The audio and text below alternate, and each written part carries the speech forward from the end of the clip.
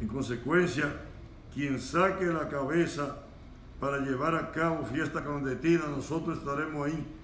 Tenemos nuestras inteligencias y a la sociedad misma pendiente de que eso no se dé, para salvar vidas, sabiendo que ellos creen que nada más el toque de queda que hay que respetar, pero además está el uso de la mascarilla, que aquellos eh, tomadores de alcohol no se van a estar quitando la mascarilla cada vez que se den un trago.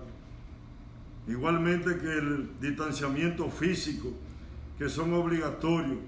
Igualmente que las actividades en masa que están prohibidas, que ciertos negocios que no deben de abrir, que están prohibidos, ellos lo saben todo. El comandante policial de Santiago advirtió que continuarán las redadas contra los negocios que están violentando las disposiciones sanitarias. En los últimos días en Santiago se han intervenido fiestas clandestinas, incluso con importantes orquestas.